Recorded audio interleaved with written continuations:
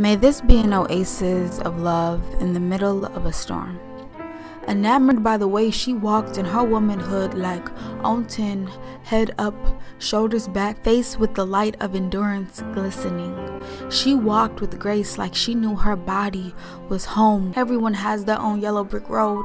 Finding it and staying on the right path is the hardest part. Generally, it's about standing up for something you believe in. It's about young womanhood and all those things that come with it. Honestly, the story of a little girl who just wanted to dress people, who wanted to make people feel like they mattered. This is fashion, design, life.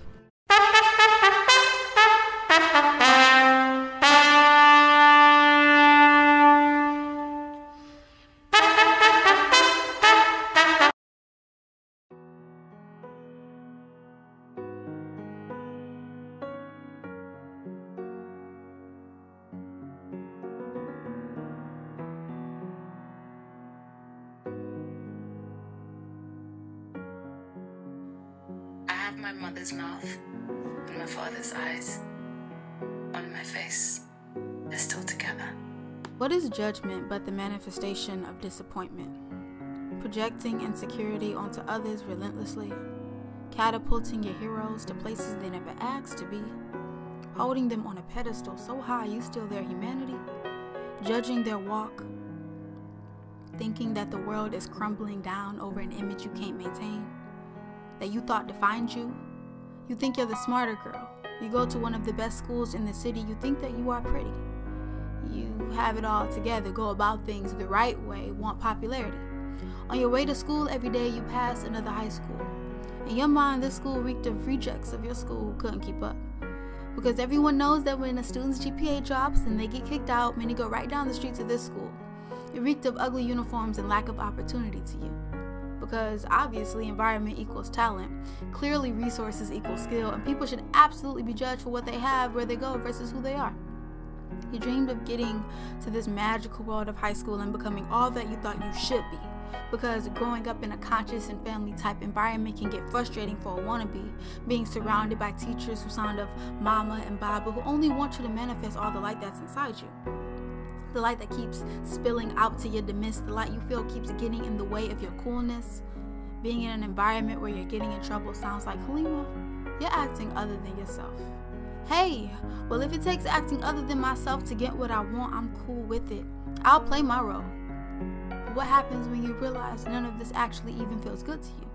When you think the put together happy black family image is taken away, when ninth grade biology and the thought of being engulfed in so much science and math kill your acceptable doctor goals, you choose you choose lawyer as a goal thinking it can equate.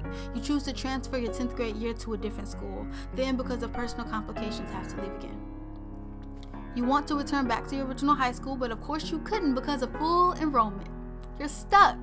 But isn't that how life goes? Because what is the story of God shaping you without you having to go right down the street to the school you ridiculed, the school you thought was less than, the school that you thought you would never go to? What builds humility? Other than looking as if you flunked out and could only turn here, putting on that uniform, enrolling in classes, you're graduating from here, your mother says. Tears of shame drench your face, embarrassment, anger. There is nothing for your pride to feed on here. Look how large the expense is for seeking validation. Look how you have to turn against yourself to even strive for it. And even after paying, there is no guarantee it will get to you. There is no confirmation email, there is no tracking number. This type of thing is a gamble of one of the greatest kinds. Because even if it comes at a wobble, it'll be broken, won't be what you expect, it won't look like the picture. The customer service will be absolutely terrible.